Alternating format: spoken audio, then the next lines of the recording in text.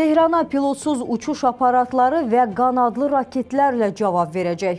Veriləcək İsrailin baş qərargah rəisi İrana ediləcək hücumdan danışdı. İrəliyən dəqiqələrdə bu barədə daha ətraflı məlumat təqdim edəcəyik. Hər vaxtınız xeyir olsun, dəyərli izləyicilərimiz. Xəbərlərin saat 12 buraxılışı ilə studiyada Səbinə Qafarvadır. Əvvəlcə anonslara nəzər salaq. Şirvan Suvarma kanalının təməli qoyuldu. Prezident İlham Əliyev Hacıqabulda tədbirdə iştirak etdi. Cəbrayılda xeyli sayda tank və piyada əleyhinə mina aşkarlandı. Daxili İşlər Nazirliyi məlumat yaydı. İmişlidə iki məktəbli həyatını itirdi. Yaxınları bədbəxt hadisənin necə baş verməsindən danışdı.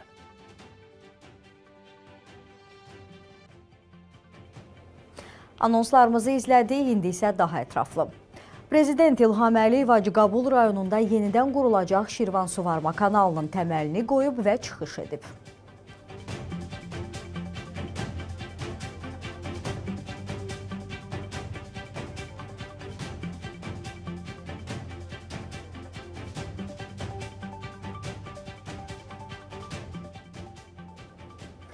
Əlahiddə Ümumqoşun Ordunun birləşmə və hissələrində olan minik, yüngül tipli maşınlara və sərnişin daşıyan avtobuslara baxış keçirilib. Bu barədə Müdafiə Nazirliyi məlumat yayıb. Qeyd olunub ki, baxış zamanı avtomobillərin texniki vəziyyəti, hərəkət təhlükəsizliyini təmin edən idarə etmə sistemlərinin sazlığı və komplektliyi yoxlanılıb. Avtomobil texnikalarında qovşaq və mexanizmlərin sazlığı, yeriyən hissələrin, həmçinin avtomobillərin konstruksiyasında olan digər hissələrin saz vəziyyətdə saxlanılmasına və texniki qulluğun göstərilməsinə xüsusi diqqət yetirilib. Ən yaxşı nəticəni göstərən hərbi hissələr baxışın sonunda mükafatlandırılıb.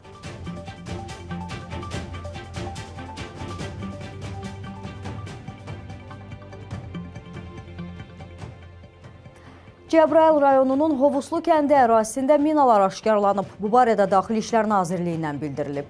Qeyd olunub ki, rayon polis şöbəsinin əməkdaşları ərazidən 29 ədəd tank və piyada əleyhinə mina, 3 avtomat, 1 pulemyot, 1 qumbara atan və digər sursatlar aşkarlayıblar. Xankəndidə də 36 silah tapılıb bildirilib ki, şəhər ərazisində 27 ədəd müxtəlif markalı avtomat silahı, 1 pulemyot, 1 pulemyot tapanca, 4 tapanca, 3 tüfəng, ön 4 qumbara, 1 qumbara atan, 5 alışdırıcı, 3 mina başlığı, 2 mərmi, 15 pulemyot lenti, 74 patron darağı, 3130 ədəd müxtəlif çaplı patron, 2 rabitə vasitəsi və digər sursatlar aşkarlanıb. Davam edirik. İranın hücumu başa çatdı. İndi bütün diqqətlər İsrailin görəcəyi cavab tədbirlərinə yönəlib. Bu ölkənin baş qərargah rəisi Herzi Halevinin sözlərinə görə Tehrana elə onların hücumuna adekvat olaraq PUA və raketlərlə cavab veriləcək. İsrail İranın hücumuna qarşı cavab tədbiri hazırlayır. Bunu İsrail Müdafiə Qüvvələrinin baş qərargah rəisi Erzi Halevi hərbi hava qüvvələrinin yerləşdiyi Nevatin bazasına səfəri zamanı deyib. Biz gələcək addımları nəzərdən keçiririk. Pilotsuz uçuş aparatları və qanadlı raketlərlə hücuma cavab verilməlidir, deyə Halevi bildirib. Qeyd eləyək ki, aprelin 13-də İran İslam İnqilabı Keşikçiləri Korpusu qanadlı və balistik raketləri ilə İsrailə hücum eləyib. Hücumların aprelin 1-də İsrailin İranın Dəməşqdəki səfirliyini bombalamasına cavab olaraq həyata keçirildiyi bildirilir. Aprelin 14-də səhər saatlarında İran İsrailə qarşı əməliyyatın başa çatdığını elan eləyib. Bu, iki ölkə arasında ilk birbaşa hərbi qarşıdurmadır. İranın hücumuna qarşı cavab tədbirləri olmalıdır. Bunu isə Amerika Birləşmiş Ştatlarının Birləşmiş Millətlər Təşkilatı yanındakı daimi nümayəndəsinin muavini deyib. Robert Wood mətnini açıqlamasa da bununla bağlı sənədin təşkilata təqdim edildiyini bildirib. Bugün isə böyük yeddili ölkələri Tehrana qarşı yeni sanksiyaları müzakirə etmək üçün İtaliyada bir araya toplanacaq. Amerika Birləşmiş Ştatları BMT Təhlükəsizlik Şurasında İranın İsrailin hərbi obyektlərinə hücumu ilə bağlı sənəd yayıb. Bu barədə ABŞ-nin BMT-dəki daimi nümayəndəsinin müavini Robert Wood deyib. BMT Təhlükəsizlik Şurasına göndərdiyimiz sənədin cavabını gözləyirik. Hücumla bağlı cavab tədbirləri olmalıdır. Sənədə maksimum dəstək istəyirik, deyə diplomat bildirib. O, sənədin mətnini açıqlamayıb. Bu arada İranın İsraillə münaqişəsi fonunda Tehrana qarşı yeni sanksiyaların tətbiqi məsələsi böyük yeddilik ölkələrinin xarici işlər nazirlərinin aprelin 16-sından 19-na qədər İtaliyada keçiriləcək görüşündə müzakirə olunacaq. Bu barədə Kanadanın xarici işlər naziri Melanie Joly deyib. Mən böyük yeddilik xarici işlər nazirlərinin görüşü üçün İtaliyaya gedəcəm. Orada İran və İsrail arasındakı münaqişə haqqında çox danışılacaq və biz İrana qarşı yeni sanksiyaların tətbiqi barədə danışacağıq, deyə Xarici İşlər naziri bildirib. İranın İsrailə hücumundan sonra tərəflər arasında münasibətlər daha da gərgin aldı. Bütün dünyanın diqqəti yaxın şərqə yönəldi. Amma bu məsələdə də ölkələr iki yerə parçalandı. Kimi İranı haqlı bilib rəsmi Tehranın yanında yer aldı, kimisi isə İsraili dəstəklədi. Bəs politoloqlar bu məsələ ilə bağlı hansı fikirdədir? Ümumiyyətlə Tehran və Tel-Əviv arasındakı gərgin münasibətlər hansı dövlətə sərf edir? İranla İsrail arasında iki gündür yaşanan gərginlik dünya mediasında ən çox müzakirə olunan mövzulardan birinə çevrilib. Məsələnin ən maraqlı tərəfi isə odur ki, bu münaqişə elə ölkələri də iki cəbhəyə böldü. Kimisi İsraili haqlı tərəf sayaraq dəstək nümayiş etdirdi, kimisi isə İranı həm dəstəklədi, həm də İsrailə qarşı geri addım atmamağa çağırdı. Hücumlar artırılmalı, hər kəs cəzasını almalıdır deyə bəyanatlar səsləndirildi. Türkiyəli politoloq Hasan Oktay bu gərginliyi öncə öncədən düşünülmüş bir siyasi təxribat hesab edir. Onun sözlərinə görə İrana dəstək verən Çin və Rusiya əslində öz maraqlarını müdafiə edirlər. Rusiya bu gərginlik fonunda Ukrayna ilə olan müharibəsini gündəmdən salmağa çalışır. 1 Nisan'da elçiliğe yapılan saldırıyı mütakip İran intikam almakla ilgili bütün seçenekleri gözden geçirdi. Çünkü eğer İran buna bir cevap vermezse beraber savaştığı, vekalet savaşını sürdürdükleri örgütler üzerinde etkisini kaybedebilirdi. Hatta bu noktada Hizbullah lideri Nasrullah, Hasan Nasrullah'ın yapmış olduğu açıklamanın cümlelerin içerisinde bununla ilgili aslında ifade ve işaretler söz konusuydu. İran bir taraftan İsrail'in savunma mekanizmasını test ederken diğer taraftan da bütün dünya devletlerinin bu meseledeki tavrını ölçmek istedi ve İran için çok pahalıya mal olan bir ölçüm ile karşı karşıya kaldı. Şu an İran'ın yanında Rusya ve Çin bulunuyor olmasına rağmen Rusya ve Çin konjonktürel olarak Rusya-Ukrayna krizini unutturabilmek, Çin ise sıranın kendine geleceği endişesi ve beklentisi içerisinde Batı'nın İran'da büyük bir kargaşaya düşmesini isteyebilir. İşte bu noktada İran'ın İsrail'e karşı mecburen girişmiş olduğu bu füze harekatının önümüzdeki günlerde çok daha farklı yansımalar olacak ve belki de İran'da artık sistem değişikliğinin önü açılmış olacak. İsrailli siyasi şərhçi Mixail Finkel isə tam fərqli düşüncədədir. Onun fikrincə İran İsrailə qarşı döyüş meydanında təkdir. Onu heç bir ölkə dəstəkləmir. Heç İranın hərbi arsenalı da İsraillə baş-başa gələ biləcək gücdə deyil. Иран поддерживает только находящиеся у него на содержании террористические группировки. İranı dəstəkləyən ancaq onun əlindən su içib sərmayə sahibi olan terror qruplaşmalar və təşkilatlardır. Həmas, Hizbullah, Livandakı silahlı qruplaşmalar hara kimi dəstək verə biləcəklər? Ərəb ölkələrindən Qətər və Küveyt isə sadəcə İrandan qorxaraq dəstək verirmiş kimi bəyanatlar səsləndirməklə öz iqtisadiyyatlarını müdafiə etmək marağını güddüklərini ortaya qoydular. Amma bu bəyanatlar qorxma mən səninlə mənasında sözlərdən başqa bir şey deyil. Nə maddi, nə hərbi dəstək olmadıqdan sonra bu sözlərin heç bir dəyəri yoxdur. Səudi Ərəbistanı da daxil olmaqla Fars körfəzi əhatəsində yerləşən bütün ölkələr İrana nifrət edir. Argentina prezidentinin bəlli çıxışından sonra hətta ölkəsində İranın terror ölkəsi olması və region üçün təhlükə yaratmasına dair qərar da qəbul olunub. Hələ Argentinada 94-cü ildə Yahudi sinagogunun partladılması faktı unudulmayıb. Yüzlərlə insanın qanı İran hakimiyyətinin üzərindədir. İllər keçsə də siyasi mövqeyini dəyişməyən bu ölkəni niyə heç kimin dəstəkləmədiyi artıq bəllidir. İsraillə İran arasında gərginlik 79-cu ildən mövcuddur. Dünyadan təcrid olunmuş bu ölkənin yeni gərginliklər yaradaraq daha da nifrət qazanma istəyi təəccüblüdür. İranın nə silahları, nə strategiyası bir işə yaramadı. Bu rüsvayçılığı hamımız gördük. Amma əmin olun, İsrail cavab atəşi açacaq. Bunu necə və nə vaxt edəcəyimizə isə biz qərar verəcəyik. Cavabımız qaçılmaz olacaq. Но мы выберем, когда и где, когда это будет самое удобное время для нас. Xatırladaq ki, tərəflər arasında gərginlik aprelin 1-də yaranıb. Buna səbəb kimi İsrailin Suriyanın Dəməşq şəhərində İran konsulluğuna aviazərbələr endirməsi və nəticədə 7 nəfərin ölməsi göstərilir. Hadisədən bir gün sonra biz intiqamımızı alacağıq deyən İran aprelin 13-dən 14-ünə keçən gecə Təl-Əvivdə daxil olmaqla İsrail ərazisinə uzaq mənzilli raketlər və dronlarla hücum edib.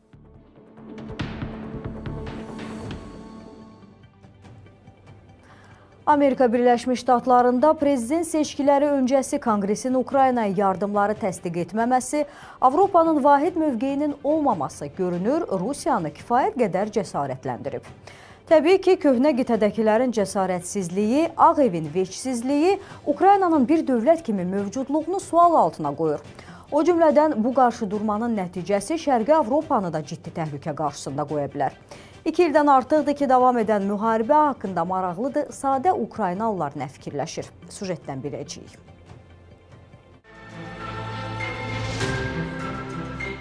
İki ildən çoxdur Ukraynada davam edən geniş miqyaslı müharibə getdikcə daha çox dağıntılara və insan tələfatına səbəb olur. Hər gün yayılan xəbərlərdə Ukraynaya dünyanın yardımının getdikcə azalması, bunun fonunda döyüşlərin şiddətlənməsi vəziyyəti daha da mürəkkəbləşdirir. Slovakiyalı ekspert Jozef Hrabina Baku TV-nin Şərqi Avropa bürosuna müharibənin uzanacağını və uzandıqca daha geniş platformaya keçərək Şərqi Avropaya böyük zərər verəcəyini bildirib. Hazırda bütün göstəricilər müharibənin qalıcı olduğunu göstərir. Biz görürük ki, Rusiya hazırda istər hərbi sənayedə, istər hərbi xidmətdə, istər səfərbərlikdə, istərsə də iqtisadiyyatda genişmiqyaslı müharibəni davam etdirməyə yönəlmiş uzunmüddətli siyasət aparır. Ölkənin hərbi sənaye kompleksi fasiləsiz çalışır. Rusiyanın bu gün cəbhə xətti boyunca davam etdirdiyi hazırki əməliyyat tempi münaqişənin başlanmasından bəri ən yüksək səviyyəlidir. Digər tərəfdən Qərb müttəfiqləri Ukraynaya bacardıqları qədər dəstək verməyə çalışırlar. Biz koalisiyanın, Fransanın Ukraynanın Belarusla şimal sərhədinin təhlükəsizliyini təmin etmək səylərini görürük. Məqsəd Ukraynanın öz qoşunlarını cənub və şərqdə, əsasən də Rusiyanın əməliyyatlarının genişləndiyi Donetsk bölgəsində yerləşdirə bilməsinə şərait yaratmaqdır. Bu qərarlarla biz görürük ki, Avropa və NATO müttəfiqləri arasında müxtəlif yanaşmalar var və bu vəziyyəti necə həll etməklə bağlı aralarında fikir ayrılığı olsa da, Qərb Ukraynaya uzunmüddətli dəstək göstərmək niyyətindədir. Buna baxmayaraq görünür ki, Ukraynaya dəstək bir növ Fransa və Polşa kimi ayrı-ayrı aktorların fərdi səylərinə və fərdi siyasətlərinə əsaslanacaq. Bir müddət sonra Böyük Britaniyadan və bəlkə də Amerika Birləşmiş Ştatlarından nəsə gözləyə bilərik. Qərb ölkələrinin artan iştirakı ilə eskalasiyanın daha da yüksəlməsi ehtimalları reallığa çevrilir və biz görürük ki, bu müharibə tərəflərindən heç biri sülh danışıqlarına hazır deyil. Ondan başlayım ki, görünür biz çox dözümlüyük. İndi ağlaya bilərəm. Hamımız üçün çox itkilər, ağır itkilər var. Sevdiklərimiz, dostlarımız, tanışlarımız, sinif yoldaşlarımız, qonşularımız və digər tanıdığımız çoxsaylı insanları bu müharibədə itirdik. Bundan çox narahatıq. Biz ilk növbədə Kiyevdəyik. Ailəm heç kim çıxmadı ölkədən. Biz birlikdə öhdəsindən gəlirik. Bizim üçün çox çətindir, amma cəbhədəki kişilərimiz üçün daha da çətindir. Buna görə də qalib gəlmək üçün dayanırıq və hər şeyi edirik. Qalib gəlmək üçün hələ də Ukraynanın tərəfdaşlarının dəstəyinə ehtiyacımız var. Onlara arxalanırıq və bunun bizi qələbəyə aparacağına ümid edirik. Biz indi çox narahatıq. Çünki gənclərimiz həlak olur köməksizlikdən. Çoxdandır Kiyevin mərkəzində meydanda olmurdum. Bugün gəlib gördüm nə qədər həlak olan gənclərimizin adı var burada. Mənim bir qardaşım itkin düşüb, digər qardaşım isə döyüşür. Onlara görə çox narahatıq. Əskərlərimizə təşəkkür edirəm ki, sabahları sağ oyanırıq. Bizim istirahət olan günümüz yoxdur. Hər gün həyəcan siqnalı yaxud hava zərbələri. Bütün bunların tez qurtarması üçün bizə kömək lazımdır. Vəddər yox, silah və ya hər hansı bir ciddi dəstək lazımdır. Əks halda belə davam etməsi daha çox Ukraynanın məhv olması demək olacaq. Bu müharibə Ukrayna millətinin rəngini əlindən alır. Təəssüf ki, Ukrayna oğullarını, qızlarını itirir. Tarixdə çox belə olub. Bu dəfə isə bu növbəti dalğadır. Təkcə dövlətimizi deyil, azadlığımızı əlimizdən almaq və ya bizi tamamilə məhv etmək cəhdidir. Ona görə də qalib gəlməyincə hər kəsi danışıqlara razılaşmağa haqqımız yoxdur. Bu, öz dövlətində yaşamaq uğrunda aparılan müharibədir. Yəni bu soyqırım müharibəsi əsrlərdir davam edir və bu artıq bizi tükəndirir. Bu dalğa isə ona gətirib çıxaracaq ki, ya bir dəfəlik məhv olacağıq, ya da qalib gələcəyik. Bizdə inan var ki, müharibə bizim qələbəmizlə bitəcək. Müharibəni tez bitirmək üçün kifayət qədər silah yoxdur və problem də budur. Bizə tərəfdaş ölkələrdən silah sursat lazımdır. Boş bəyanatlar yox. Artıq həll edici məqam çatıb. Bu müharibədə qalib gəlmək üçün bizə kömək lazımdır. Qeyd edək ki, Ukrayna cəbhəsində müvəqqəti sakitlikdən sonra yenidən aktiv əməliyyatlara start verilib. Ukrayna Xarkov və Donetsk vilayətləri istiqamətində ciddi itkilərə məruz qalır.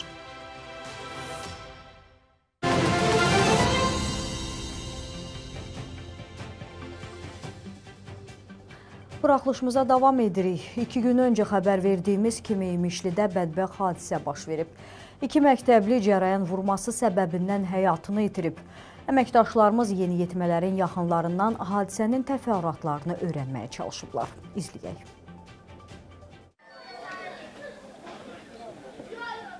O uşağı mən yetimçiliklə böyütmüşəm. Bu yaşa gətirib çatmışam. İmişlidə iki məktəblinin ölümünün təfərrüatları məlum olub. Dəhşətli hadisə aprelin 14-də İmişlidəki 5 saylı orta məktəbin ərazisində baş verib. Məktəbin həyətində futbol oynamağa gedən iki məktəbli 14 yaşlı Amid İspərov və Fərhan Məmmədzadə bir müddət futbol oynadıqdan sonra onlar yaxınlıqda olan yarımtikilinin damına çıxıblar.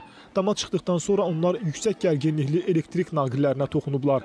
Nəticədə hər iki yeniyetməni cərəyan vuraraq öldürüb. Alça yığıblar, nə ediblər? Uşaqdır da oynayırlar. Bu Bakıdan gələn dostu ilə bu qalxıb yuxarı. Burada telefon olub o uşağın əlində. Elə telefon əlində açan kimi də tutubdu uşağı, əlini götürübdü. Yəni bu özünü atıb ki, ona kömək eləsin. Bunu da çəkib yanaşdırıb onun yanına. Hoş gəldi xəbər verdi ki, qardaşı bir tok vurub. Yuxudan durub belə getdim, getdim gördüm ki, yəni tok vurub şeferin üstündə uzanıqlı vəziyyətdədir, ikisi durur. Mən o hadisə vaxtı orada olmamışam. E, belə o xəbəri eşidəndən sonra mən yəni pis olmuşdum da, çox pis olmuşdum ki, yəni dostumuz belə oldu. Qeyd edək ki, 14 yaşlı Amid İspərov İmişlidə 2 saylı orta məktəbin 7-ci sinifində oxuyurmuş. Onunla birlikdə dünyasını dəyişən Fərhan Məmmədzadə isə paytaxt məktəblərindən birində təhsil alırmış. Amidlə dost olan Fərhan bayram tətili olduğu üçün rayona babası gilə qonaq gəlibmiş. Uşaq hal-hazırda Bakı şəhərində oxuyurdu. Bayram ərəfəsində bura qonaq gəlib və burada futbol əvəzinə oynamaq üçün getmişdi rayon. Və orada da belə bir hadisə baş vermişdir. Qeyd edək ki, baş vermiş hadisə ilə bağlı cinayət işi açılıb, araşdırmalar davam etdirilir.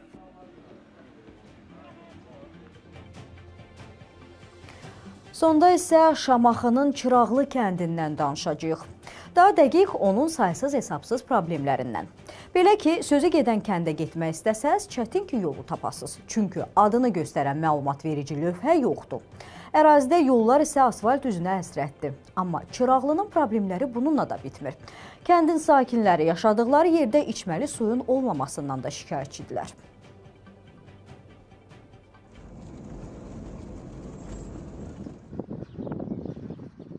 Yağış yağanda suyum olur, yağmadı.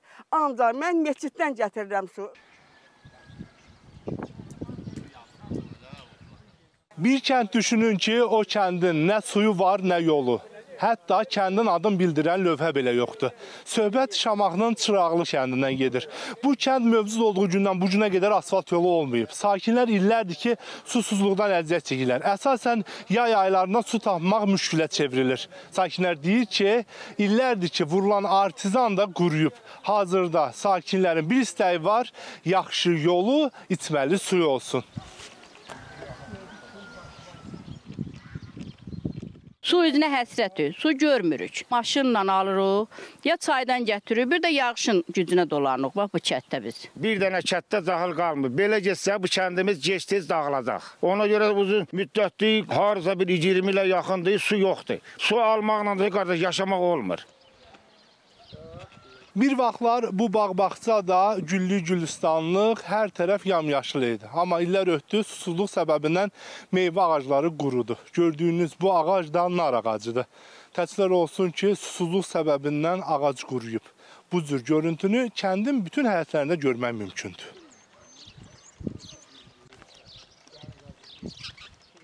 Susuzluqdan yanır bala.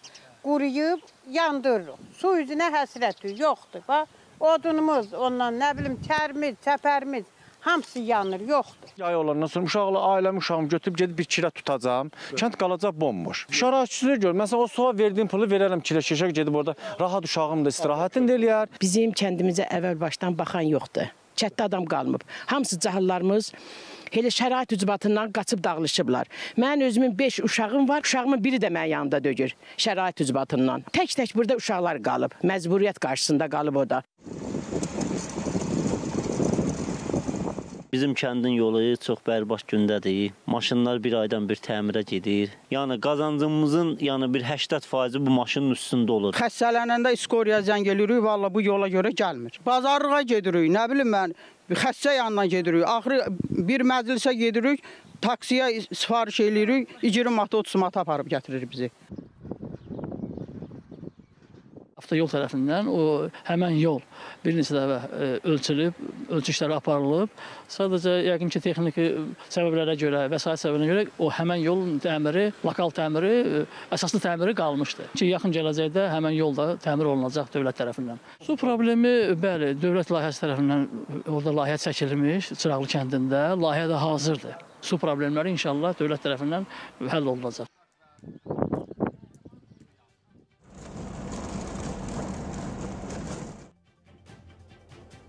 Ölkədə eləcə də dünyada baş verənləri operativ və dəqiq şəkildə çatdırmağa çalışdıq. Siz isə gördüyünüz və sizi narahat edən məsələlərlə bağlı qaynar xəttimizə müraciət etməyi unutmayın. Daim yenilənən xəbərlərimizi isə sosial şəbəkə hesablarımızdan da izləyə bilərsiniz. Həmçinin ekranda gördüyünüz frekansları yığmaqla Azerspace P2 vasitəsilə bizi həm Avropa, həm də Asiyada izləmək mümkündür.